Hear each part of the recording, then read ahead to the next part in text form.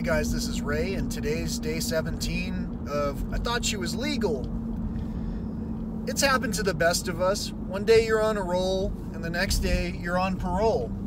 I mean, you know, that's just the way of the world today. But basically, with that being said, I'd like to tell you whether or not they're legal doesn't mean that they're not going to pursue some kind of legal recourse. So, think about that the next time you have intercourse just a tidbit. There are a lot of different people out there in the world doing a lot of different things for a lot of different reasons. And in the law of the land, it's basically acceptable to do a lot of things depending on who the participants are, what the time frame is and all that.